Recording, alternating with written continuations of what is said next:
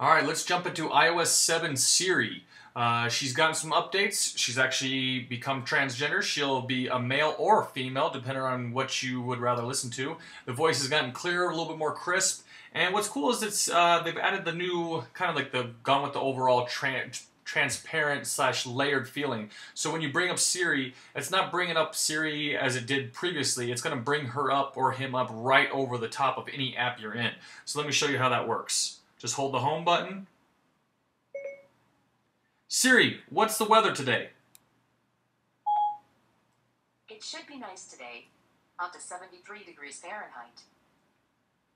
So as you can see, that was pretty nice. So if you want to change it to male to female, all you got to do is go back to your settings, go under the general tab, and I'm actually under there already, but you can go and change from the language, the voice gender, voice feedback. So I'm going to go ahead and change it to a male voice just to show you what that's like. So we'll go ahead and hold the home button again. Siri, tell me about polar bears. Here's some information. Read to me about polar bears.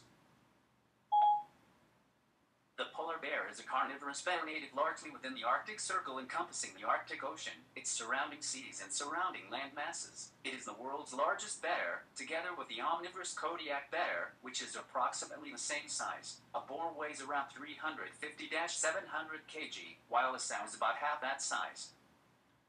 See, what's also cool is you could sit there and cycle through all the different things that you've asked about. So uh, in this, at least as long as you have Siri open. Another cool thing is you could hit the question mark button down here on the left-hand side, and you could it'll give you kind of an ideas of what you could do. So you could launch Photos app, um, FaceTime calls, message somebody. Uh, you can do the calendar, sports, uh, post to Facebook, tweet my location. I mean, there's a lot of different things you can do. Um, like what's Emily's address? Where's where's Brian? I mean, there's a lot of cool things. So let's go. Let's check a new thing out. What they got. So that was searching Wikipedia.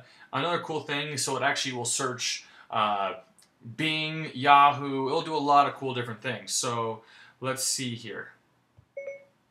Hey Siri, what's trending on Twitter right now? Searching on Twitter. Here's what's trending on Twitter.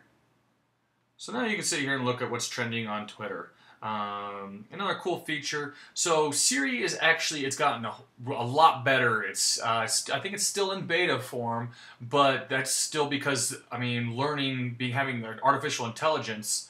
Oh, got to avoid an instant message there, but uh, it's it's really cool, straightforward. Um, it's it's really cool. I, I use it a lot, and I re actually really enjoy it, especially when I'm driving.